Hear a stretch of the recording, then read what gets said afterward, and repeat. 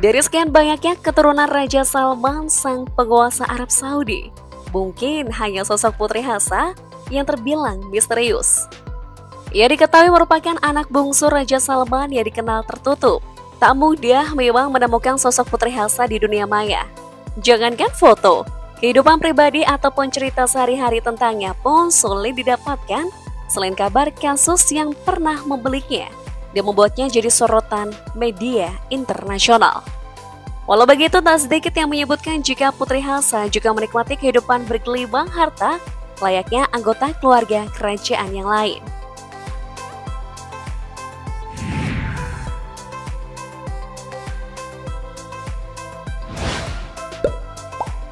Putri Hasa binti Salman Al Saud merupakan anak perempuan dari Raja Salman bin Abdul Aziz Al Saud dan istri pertamanya almarhumah Sultana binti Turki al-Sudairi. Berdasarkan silsilah keluarga, Putri Hasa binti Salman merupakan kakak tiri dari putra mahkota Muhammad bin Salman, namun berbeda ibu. Putri Hasa meraih gelar sarjana sastra Inggris dan King South University di Riyadh dan dua gelar master di Universitas Inggris. Yang pertama adalah studi diplomatik dan hukum internasional dari University of Westminster di London pada tahun 2001. Dia juga berprofesi sebagai dosen Fakultas Hukum Universitas King Saud Arab Saudi. Sebagai wanita berpendidikan, Putri Hasa dikenal sangat tertarik pada sastra Arab dan sebelumnya telah mendukung sektor ini dengan mengadakan sesi sastra di Prince Salman Social Center, sekarang bernama King Salman Social Center. Dia juga memiliki minat akademis dalam sejarah dan filsafat yang dia alami dengan mengikuti kursus di Universitas Oxford dan London. Pada 28 Mei 2021, dia menikah dengan Fat bin Sa'ad Al Saud di Royal Sea Place di Jeddah. Ini merupakan pernikahan keduanya setelah bercerai dari suami pertamanya, Bahdu bin Abdul Rahman bin Saud.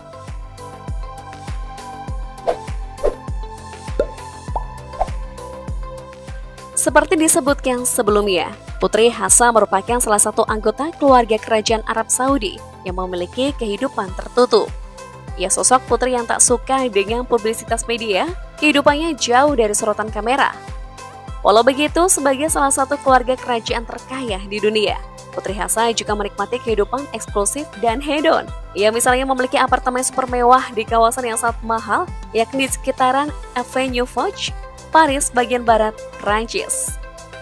Secara rutin, ia kerap mendatangi kediamannya itu untuk memenuhi hasrat gaya hidupnya yang mewah pada pernikahannya tahun 2021 lalu, Putri Hasa menggelar pestanya secara tertutup dari media.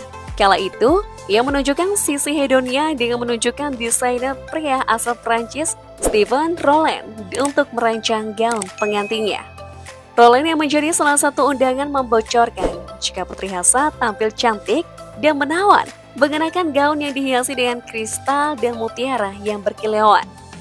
Roland juga mengungkapkan mempelai wanita mengenakan hiasan kepala dan manset emas putih yang merupakan koleksi milik ibunya Putri Sultana binti Turki Al-Sudairi dibuat oleh Jahan Jewelry, sebuah perusahaan permata yang berbasis di Jenewa, Swiss dan dibuat lebih dari 30 tahun yang lalu. Selain itu, sebagaimana gaya hidup para keluarga kerajaan, Putri Hasa juga adalah seorang filantropi.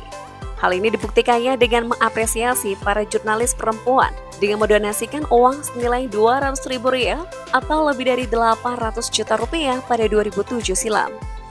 Selain itu, dia juga berpartisipasi dalam kegiatan Komisi Hak Asasi Manusia Saudi. Pada Juni 2020 misalnya, Hasa binti Salman diangkat sebagai Ketua Kehormatan Asosiasi Tanggung Jawab Sosial Saudi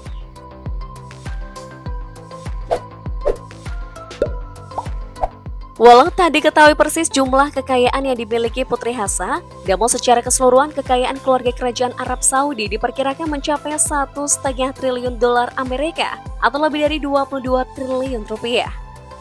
Ayahnya Raja Salman disebut memiliki kekayaan sekitar 17 miliar dolar Amerika atau setara dengan 255 triliun rupiah. Selain mendapatkan warisan dan gaji dari profesi sebagai dosen, hampir dipastikan Putri Hasan juga memiliki perusahaan yang menjadi sumber pendapatannya. Paling tidak, setiap dari putri atau pangeran kerajaan Arab Saudi menerima uang saku sekitar 200 ribu hingga 270 ribu dolar setara 3 hingga 4 miliar rupiah per bulan. Dengan tunjangan itu saja mereka bisa hidup bermewah-mewahan tanpa perlu bekerja. Namun karena juga memiliki sumber pendapatan lain yang lebih besar, sebagian orang menganggap bahwa mereka hidup terlalu boros. Karena gaya hidupnya yang eksklusif, tertutup namun hedon, seorang aktris dan model asal Punjab, Gini Kapoor, sering dikira sebagai putri Hasa karena wajah mereka yang mirip. Maka tak heran, Hasa pernah gusar ketika difoto oleh seorang pekerja lepas yang memotretnya dengan menggunakan telepon genggam di apartemennya. Lewat pengawalnya, Putri Hasa mengasari pria itu. Tak terima dengan perlakuan arogan sang putri, pekerja itu lalu melapor ke polisi. Tak butuh waktu lama, sebuah foto wanita berjilbab dan memakai penutup wajah terpampang pada situs berita newscourse.in. Wanita itu diduga kuat sebagai foto Putri Hasa Ketika itu foto tersebut dipasang pada berita berjudul Prince Hassa flees Paris after bodyguard arrest for murder attempt. She is daughter of King of Saudi Arabia atau Putri Hassa melarikan diri dari Paris setelah pengawalnya terlibat upaya penghilangan nyawa. Dia anak raja Saudi Arabia. Asraf Eid Seorang warga negara Prancis kelahiran Mesir mengatakan pengawal Putri Hasa menyerangnya setelah sang putri menuduhnya mengambil foto dan video dirinya pada September 2016. Ed sebelumnya mengatakan dia sedang bekerja di kamar mandi di apartemen milik putri dan mengambil foto furniture untuk referensi ketika dia melihat bayangan sang putri di kaca. Menurut pengakuan Ed yang dibacakan di pengadilan, ketika Putri Hasa melihatnya, sang putri memerintahkan pengawalnya, Rani Saidi, untuk mengambil ponselnya. Ed mengklaim Saidi kemudian bertindak kasar padanya. Ed menuduh pengawal itu mengikat pergelangan tangannya, mengancam dengan senti, dia memerintahkannya untuk mencium kaki sang putri.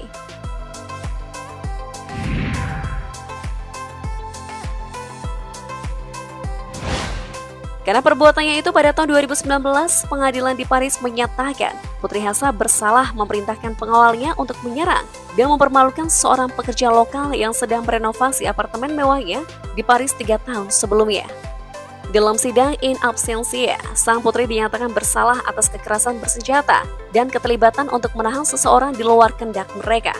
Putri Hasa akhirnya dijatuhi vonis percobaan 10 bulan dan denda 10.000 pound sterling oleh pengadilan.